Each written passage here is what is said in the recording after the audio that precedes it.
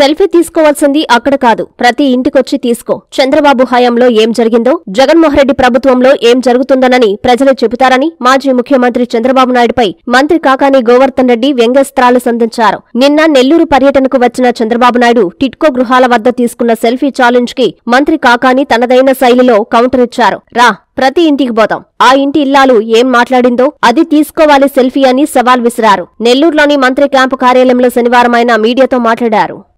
చంద్రబాబు నాయుడు అక్కడ కాదు సెల్ఫీ తీయాల్సింది. ప్రతి ఇంటికి రావాలి చంద్రబాబు. వచ్చి ఆ ఇంటి ముందు నిలబడి ఆ ఇంటి ఇల్లాలు ఏం మాట్లాడుతుందో సెల్ఫీ తీయాలి. చంద్రబాబు నాయుడు హయాంలో ఏం జరిగాయి? జగన్మోహన్ రెడ్డి గారి హయాంలో ఏం జరిగాయి? అది కదా సెల్ఫీ తీయాల్సింది.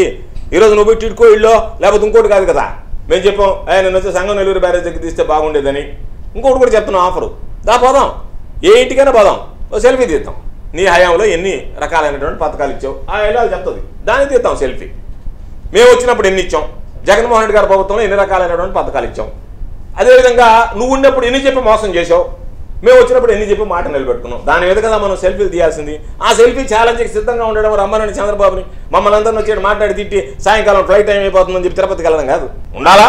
మాట్లాడాలా? లేదా జనంలోకి రావాలా? నువ్వేమో పాప మేకప్ జరిగిపోతుందని చెప్పి చెప్పి నువ్వేమో జనంలో తిరగకుండా ఎండలో మీరు తిరగకపోతే పది శాతం ఉంది మీరు తిరగాలని చెప్పి చెప్పి చెప్పి ఆయన మేకప్ దెబ్బతినిపోకుండా ఆయన ఏసీ రూమ్లో కూర్చొని వెళ్ళిపోయాడు. మీరు ఎండలో తిరగండి దుమ్ము ధూళి ఆరోగ్యం పాడు చేసుకోండి అధికారం నాకు అప్పచెప్పండి నేను నా కొడుకు అనుభవిస్తామని చెప్పి చెప్పి కనీసం ఒక మూడు నాలుగు గంటలు సమీక్ష చేసి ఏసీ రూమ్లో కూర్చొని నేరుగా హైదరాబాద్కి చెక్కేశాడు. ఆయన ఈరోజు దీనికి సంబంధించి ప్రజల సమస్యలు మానవ సంబంధాలు మట్టిగడ్డలు ఇవన్నీ మాట్లాడేటువంటి పరిస్థితి.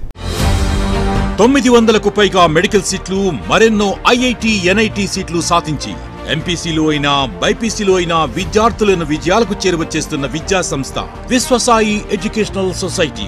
విద్యా బోధనలో అపార అనుభవం కలిగిన డైరెక్టర్స్. విద్యార్థుల క్రమశిక్షణకు వారి మానసిక దృఢత్వానికి ఎల్లప్పుడూ తోడుగా నిలిచే faculty. Concept based teaching easy learning genuine practical knowledge లాంటి ఆధునిక విద్యా విధానానికి తగిన విద్యా బోధనా విధానం పాటిస్తూ ఒత్తిడి లేని ఎగ్జామ్ ప్రిపరేషన్ ద్వారా విద్యార్థులకు స్ట్రెస్ ఫ్రీ ఎడ్యుకేషన్ అందిస్తూ వారి విజయాలను మరింత సులభతరంగా మారుస్తున్న విద్యా సంస్థ Vishwasai educational society MBBS dental IIT NIT విద్యార్థి ఆశయం ఏదైనా వారి ఆశయ సాధనకు విద్యార్థుల ఎంపికలు ఎప్పటికీ ముందుండే విద్యా సంస్థ విశ్వసాయి ఎడ్యుకేషనల్ సొసైటీ నీట్లో ర్యాంక్ అయిన ఐఐటి మీ ఆశయమైన the one and only choice Vishwasai educational society Nellore Tirupati.